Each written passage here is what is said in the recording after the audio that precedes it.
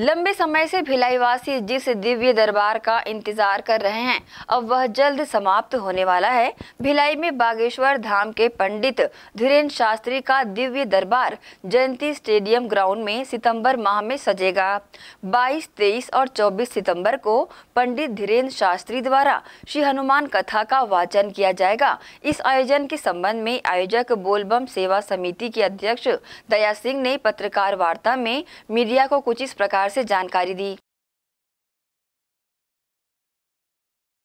देखिए पंडित धीरेन्द्र शास्त्री जी बागेश्वर धाम से भिलाई आ रहे हैं। सितंबर 22, 23, 24 शुक्रवार शनिवार और इतवार। और तीन दिन दिव्य दरबार भी लगेगा दिव्य कथा भी लोग हनुमंत सुनेंगे।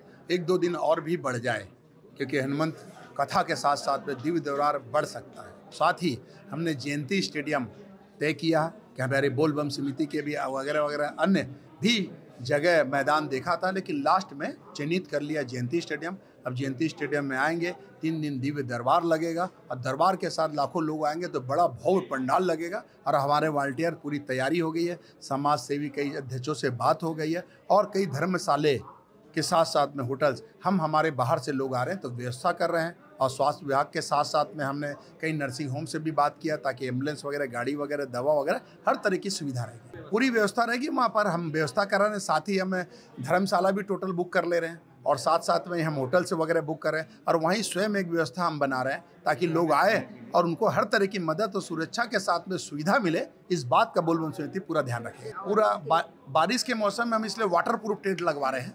ताकि किसी को भी किसी भी प्रकार का बूंद पानी या किसी भी प्रकार का किसी कोई असुविधा ना हो, इसलिए हमने भव्य पंडाल के साथ पूरी व्यवस्थाएँ रख रहे हैं। पच्चीस से तीस हज़ार नहीं, बल्कि पचास हज़ार तक के लोगों के खाने की रोज की व्यवस्था रहेगी, पानी की व्यवस्था रहेगी। हर तरह की एक हम व्यवस्था रखेंगे और अलग अलग दिन अलग अलग चीज़ रहेंगे, ताकि लोग जो आए बाहर से तो बढ़िया भोग प्रसादी ले, ताकि वही प्रसन्न होकर जाए और भिलाई का नाम ले। जनता से पूरा और फिर हम बैठेंगे।